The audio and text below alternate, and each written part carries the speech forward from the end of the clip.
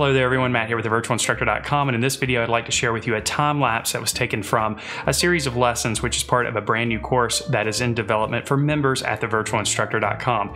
Now this course is entitled Three Little Birds with Colored Pencils and in it we take a look at drawing three different small birds with three different brands of colored pencils on three different surfaces. Now this time lapse is taken from our second series of lessons where we draw a blue jay with polychromos oil-based colored pencils made by Faber-Castell on PastelMat paper. Now this course series is broken down just like our other courses where we take the entire process and break it down into bite-sized, easy to understand chunks in video content, but we also include step-by-step -step illustrated ebooks so you don't miss any step of the process. Now to learn more about our membership program, all you have to do is click on the link in the description below, or you can click on the link in the card in the in the upper right hand corner of this video. Now with that being said, let's go ahead and have a look at the time lapse. For this drawing, I decided to start with a transfer process, which basically means I applied pastel material to the back of the photo reference. Then, after taping the photo reference in place over the top of the PastelMat paper, I could use a sharp tool, in this case a mechanical pencil loaded with 2H graphite, to trace over the contour lines. This created a contour line drawing of our final surface, and of course this saves time and ensures accuracy. Then after taping off the picture plane, we could begin with pan pastel applications. Now, pan pastels are basically the pastel material in small little pans like we normally associate with watercolor. We use special applicators, of course, to apply the pan pastel material to the surface. You can see here that the pan pastels create a painterly look, allowing us to create smooth transitions between different colors and values relatively easily. Plus, they cover a large surface area in a short period of time, which made them an excellent choice for this particular image. Now you'll also notice that I'm going back and adjusting the values, adding light and dark values to ensure a bit of variety in the drawing. Now we started with the background since our colored pencil applications are going to be applied over the top, which makes perfect sense. Once our pan pastel material is in place, we can begin with the colored pencil applications.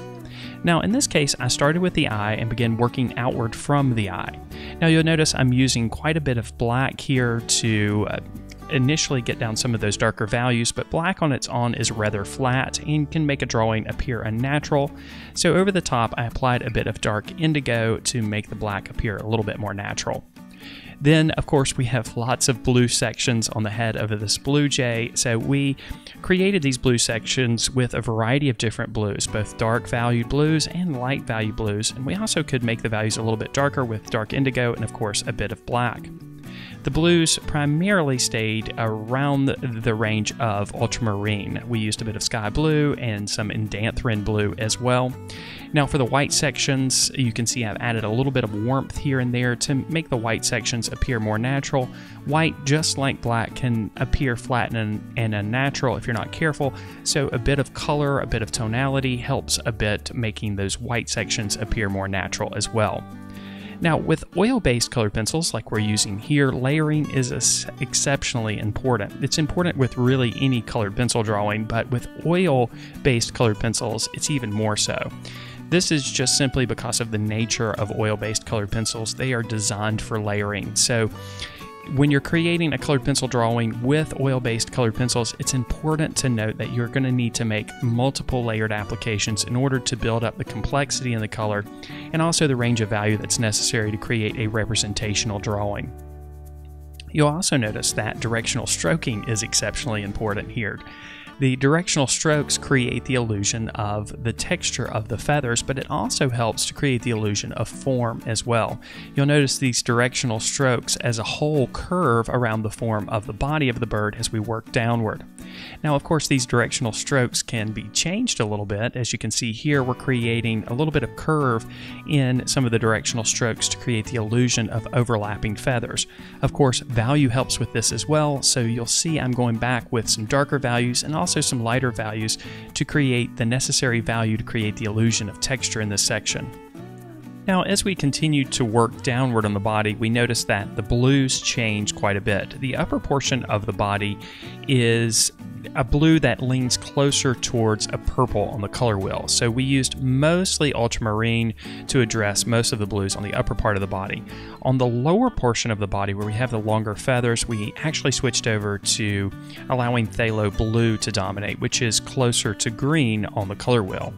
Now, of course, our directional stroking here is still important, so we considered the direction, length, and orientation of each one of the feathers as we made our strokes in this section.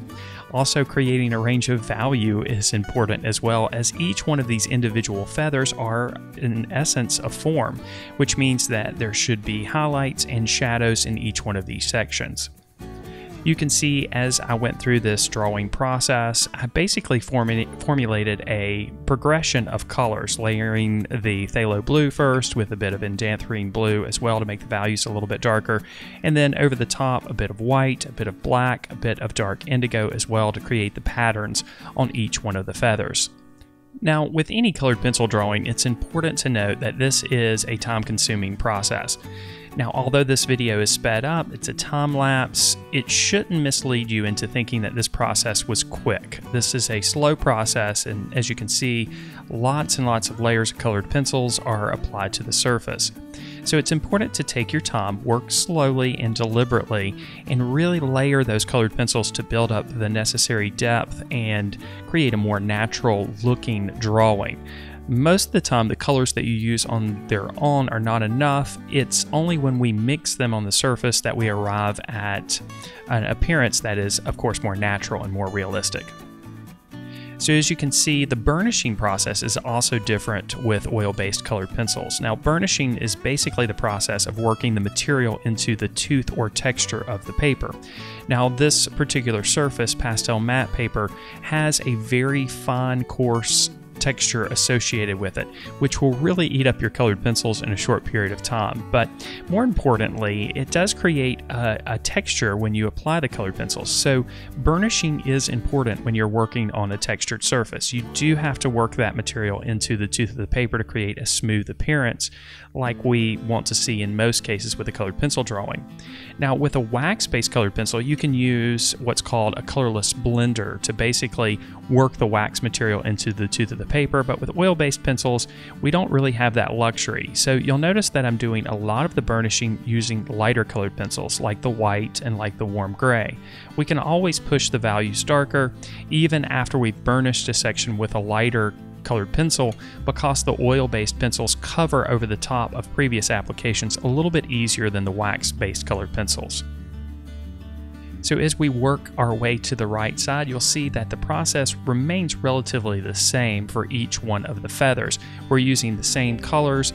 The progression of the way that we're layering colors might change a little bit just to mix things up a little bit, but it's still the same colors that we're applying to the surface.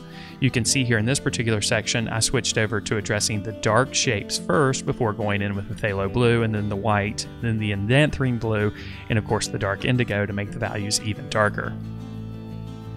Here you can really see the directional strokes and how they play a role in creating the illusion of texture even on this smoother feather.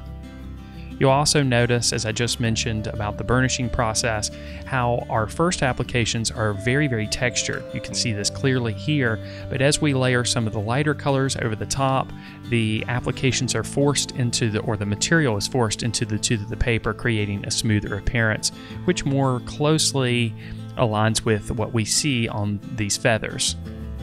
Now in this drawing, of course, I started at the top of the body with the head and then worked my way down, but in this particular section where we have these detailed feathers, I started on the left side of the picture plane and worked my way over to the right. This is simply because I'm right-handed and I wanted to prevent any smearing of the applications we already had in place by the palm of my hand. So if you're left-handed, you might consider starting on the right side of the body of the bird or whatever subject you're drawing and then working to the left side to prevent any smudging or smearing. You'll also occasionally see a glimpse of a paper towel here and there in this time lapse, and that's because I did have a paper towel underneath the palm of my hand to prevent any smearing of the pan pastel applications that we already had in place. Now, we quickly went through that white section over there on the right side of the body, but you'll notice that there's a bit of black here and also a bit of warmth added with some raw umber.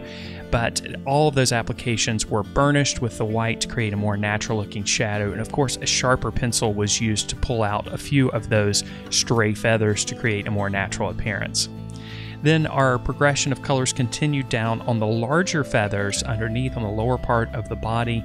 The process was completely the same. Again, thinking about directional stroking here and also burnishing the applications with a bit of white, a touch of gray here and there, and just to create a more smoother appearance. Of course, the lower feather, the lower long feather on the right overlaps the one on the left, so we see a little bit of cast shadow in this location, and there is a slight curve of these feathers at the bottom portion, so the values get slightly darker since less light is hitting this particular section.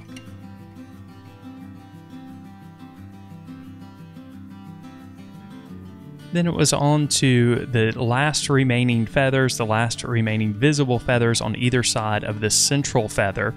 And again, the process was the same. Same colors were used in this particular section, but a bit of shadow was added to create the illusion that this feather was actually underneath the larger feather. And of course, this was applied to both of the feathers on either side of this large dominant feather. Then after addressing the last remaining bits of blue on either side of the feathers, we added the large white sections at the bottom of these feathers as well to finish off the bird, basically. Then it was time to address the branch that the bird was sitting on. Now, we went to the branch next instead of the talon because the talon, of course, overlaps the branch. We started here with uh, a few browns and oranges and also some grays to mute the color and also to make it appear more natural. We also strengthened the highlight here with a bit of white. And then of course it was time to strengthen the shadow with a bit of walnut brown, which is a very, very dark brown. You can see here with the addition of the shadow and this darker value, we started to create a more convincing illusion that the branch was actually round, but also created the illusion of the texture of the branch as well. We also pulled in a bit of Payne's Gray to make the value a little bit darker, but still allowed some of those browns to show through. Then some additional burnishing with warm gray here helped to create a more convincing illusion of the texture of the branch. Then, of course, all that was left is the talon. And to address the talon, we started with a bit of dark indigo, then Payne's gray, of course, some white for the highlights, and a bit of warmth with raw umber was also added here to create a convincing illusion. Then it was time to pull the tape away, and our colored pencil drawing of a blue jay completed with polychromos oil based colored pencils on PastelMat paper was complete. Thank you so much for watching this video. I hope you were able to pick up a thing or two here and there. Remember, you can check out the first two videos of this lesson series for free, again, by clicking on the link in the description below. You can also check out our membership program where you'd get access to all of our great drawing and painting courses, as well as weekly live lessons, weekly critiques as part of the Members Minute, lesson plans for teachers, and much, much more. Again, a link is in the description below. You can also check out three of our course videos and ebooks for free by clicking on the link in the description below or on the card in the upper right hand corner. And if you haven't subscribed to this channel yet, what are you waiting for? We cover a broad variety of drawing and painting, media, and subjects here. So if you haven't subscribed already, make sure that you hit that subscribe button. As always, I wish you all the very best in your artistic success. Thanks again for watching.